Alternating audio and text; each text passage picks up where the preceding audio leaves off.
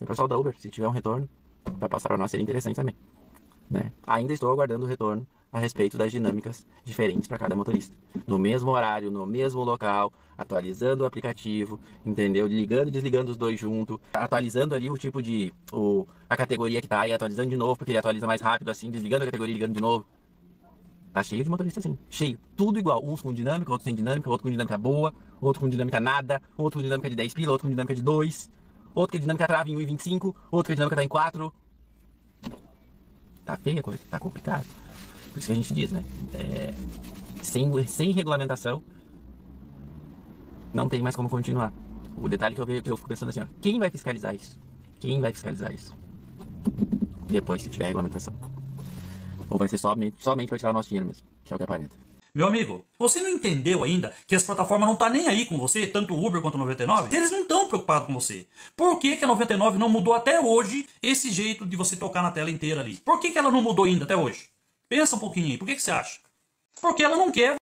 Vocês acabaram de ver um trechinho de um vídeo meu onde falava um pouquinho sobre a dinâmica. Não foi eu que fiz, fizeram. Apareceu nosso nosso amigo Samuel também aí, falando um pouquinho sobre a 99 Pop. Também né, que os aplicativos não estão nem aí para nós e a gente está vendo há muitos dias e há muitos dias eu tenho feito eu tenho feito vídeo falando sobre a diferença da dinâmica para os motoristas, a diferença descarada e cada vez está mais descarado, tá?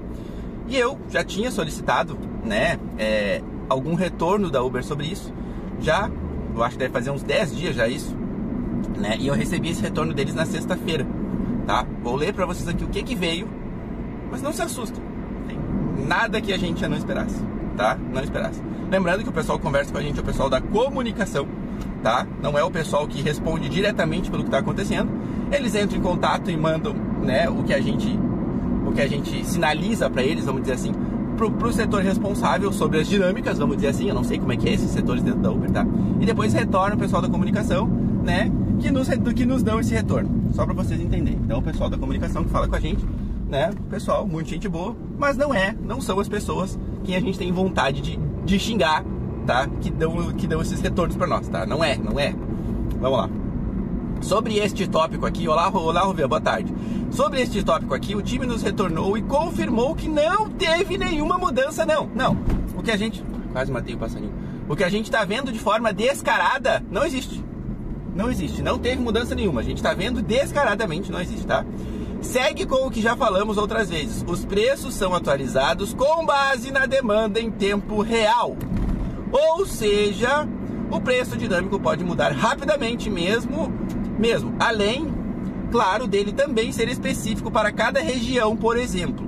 Novidades nesse sentido compartilharemos contigo.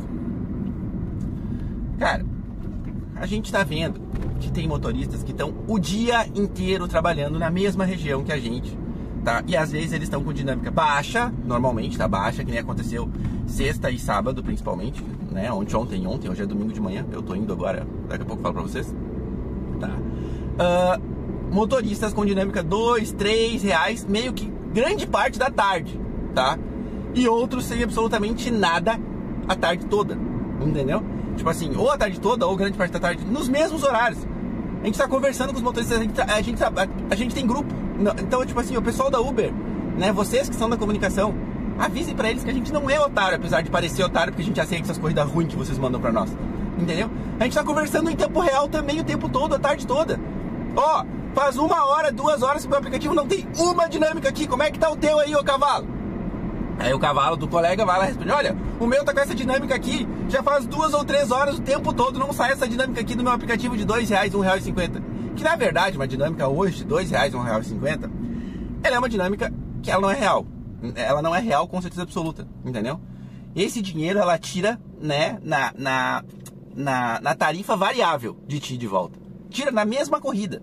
1,50, 2, 3 de dinâmica, ela tira na mesma corrida, não vai fazer a mínima diferença a não ser que seja uma corrida mínima, tá? E a corrida mínima praticamente os motoristas não estão fazendo mais, é isso que eu tenho visto, tá? Grande parte dos motoristas, né?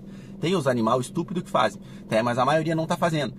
Mas a dinâmica pequenininha, assim, que fica o tempão no aplicativo da, da, da, gente, ela é, ela é retirada na mesma viagem. Vai pegar uma, uma corrida, uma Comfort, por exemplo, que hoje eu praticamente só trabalho com Comfort ligado no final de semana, tá? O que acontece? Ela vai uma corrida que ela pagava 26 reais, um exemplo, tá? Por 13, 14 quilômetros, entendeu? Ela vai tocar pelos mesmos 26 reais com a soma de 1,50, 2 reais de dinâmica que tá o tempo todo no meu aplicativo. A mesma coisa, só que eu vou ter a impressão que eu estou ganhando uma dinâmica que eu não estou ganhando. É isso que está acontecendo, em grande parte. A gente não sabe, eu não sei, né? Tem, tem, tem, vários tipos de lógicas por aí, né? Tem gente falando que isso acontece porque o motorista já ganhou, né? Aquele valor que ela pretendia liberar para aquele motorista, tipo, nessa semana, como se fosse para ganhar 32 reais a hora. Então agora ele está totalmente sem dinâmica e vai se virar sem dinâmica dessa forma. Ou, né, tipo assim, e aquele outro que ainda não ganhou, que trabalhou muito menos essa semana e que tá com essa dinâmica baixinha o tempo todo. Então, tipo assim, são várias, é, é, é, é, várias situações que a gente fica tentando entender o que está acontecendo, mas a gente não vai chegar a lugar nenhum. Essa é a verdade. Mas o retorno está aí, né? O retorno que eu já estava esperando alguns dias, né? E está dizendo que está tudo certo, que não tem nada de errado. Isso é o pior. Um abraço para vocês, fiquem com Deus, inscreva no canal, ative a bosta do sino. Escreve para nós aí o que, que tu acha sobre isso. E eu tô indo pra escola agora, são 12 para 7. Tenho que dar um jeito de editar esse vídeo, carregar, né? Fazer capa, fazer tudo que tem que fazer para largar vocês antes do início das votações, às 8 ainda, né? Que agora estamos. Vamos, vamos ser segundo mesário. Segundo mesário hoje, o dia todo aí. E sobre os votos, né, gente? Você sabe que a gente tem vários candidatos motoristas pelo Brasil, né? Então, contamos com vocês para a gente tentar fazer frente agora, tentar colocar mais pessoas na política, né?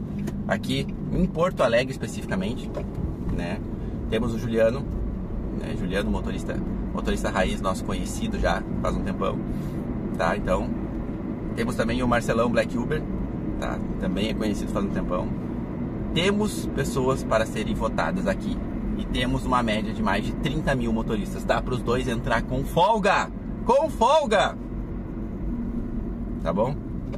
No meu Instagram fiz uma postagenzinha lá sobre isso ontem, repostei lá do Juliano, dei uma olhada também. Um abraço para vocês.